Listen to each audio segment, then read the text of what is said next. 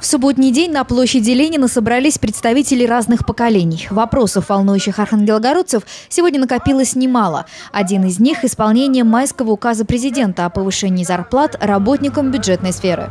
Мы работники бюджетной сферы, у нас зарплата только-только вот. Концы с концами сводим.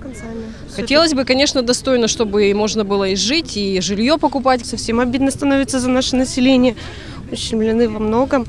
И зарплату хочется достойную, и, соответственно, все гарантии сохранить. Но мы хотим, чтобы сделали референдум. Не так просто, что кто-то принял решение вот ввести сети менеджеров там вот этих э, и выборы отменить мэра, а чтобы провели референдум. У нас 75% было, что мы против этого, но нас никто не послушал.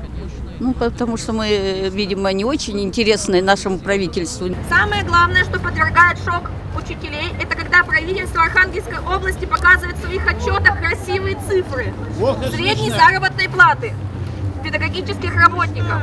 Поэтому я считаю, что региональные власти лукавят, а на сегодняшний день нет той заработной платы, которая показывает правительство Архангельской области. Да, может быть, в отдельных школах где-то есть у отдельных людей, но на самом деле это бывает очень редко. Сотни собравшихся архангелогородцев выступили против возможной отмены северных льгот. Планы об этом не так давно были озвучены в Министерстве труда и социального развития Российской Федерации.